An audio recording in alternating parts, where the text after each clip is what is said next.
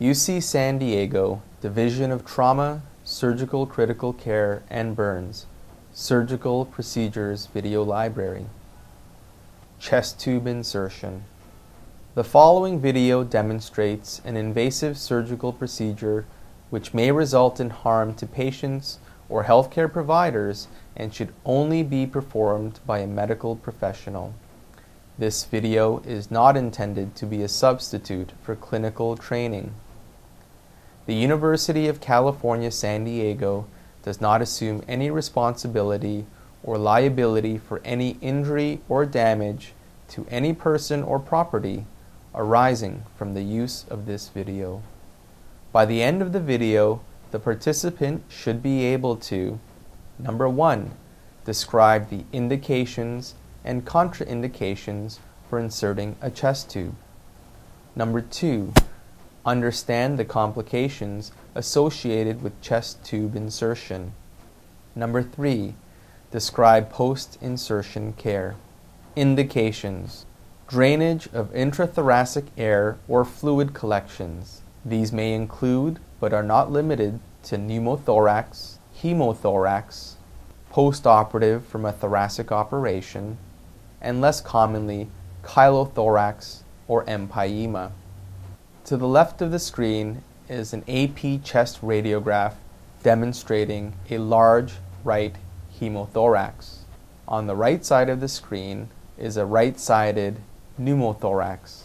Equipment Local anesthetic with either 1 or 2% with or without epinephrine should be administered to the patient provided that time allows. To this end, a syringe with a 22 gauge needle are required. A number 10 or 15 blade, a basic procedure tray, a chest tube varying between 28 to 40 French, as well as an O-silk suture to secure the chest tube to the patient, and a drainage collection system. These may include an atrium, a Pleur-evac, or Sahara. Preparation. The patient should be placed in the supine position with the arm abducted greater than or equal to a 90 degree angle. The patient should receive a wide prep and drape, and if time permits, infiltration of at minimum 10 to 20 cc's of local anesthetic. Approach and exposure. Local anesthesia should be placed.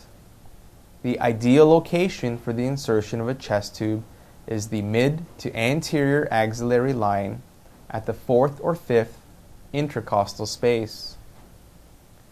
A transverse incision should be created through the skin and subcutaneous tissues ensuring that the incision is placed over the superior aspect of the rib in order to avoid injury to the intercostal neurovascular bundle.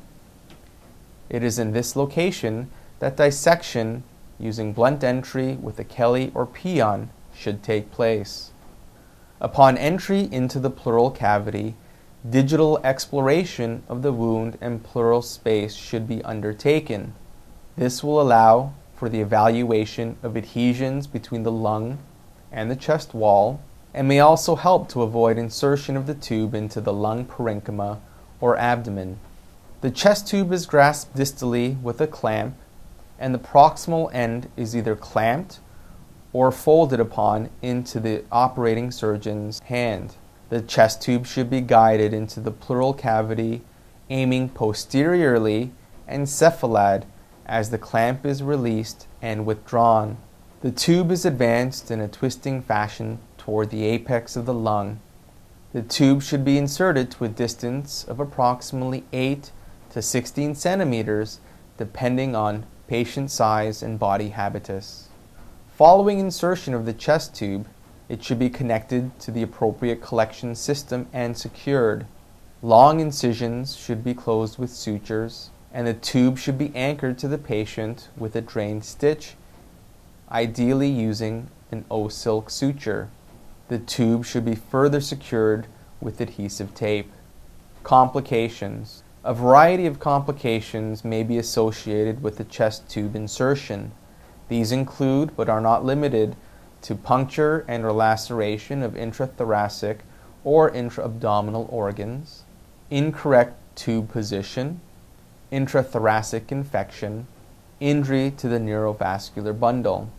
There is some evidence suggesting that the administration of prophylactic antibiotics may decrease the incidence of intrathoracic infection. Post procedure management. Immediately following chest tube insertion, a confirmatory chest x ray should be undertaken. This chest x ray may demonstrate the position of the tubing, the presence of a residual hemothorax, as well as a persistent pneumothorax. Ideally, all holes or fenestrations in the chest tube should be within the pleural cavity. The chest tube, together with its drainage collection system, should be appropriately secured, and unless otherwise contraindicated, the application of negative pressure, usually at a setting of minus 20 centimeters of water, should be applied.